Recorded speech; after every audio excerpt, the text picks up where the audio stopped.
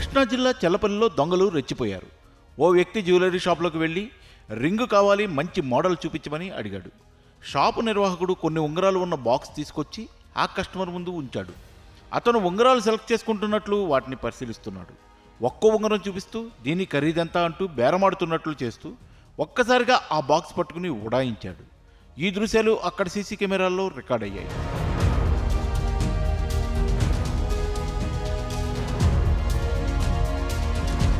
ఇద్దరు వ్యక్తులు ప్లాన్ ప్రకారమే షాప్కి వచ్చారు. బయట ఒకరు బైక్పై రెడీగా ఉన్నారు. ఇంకో వ్యక్తి లోపలికి వచ్చాడు.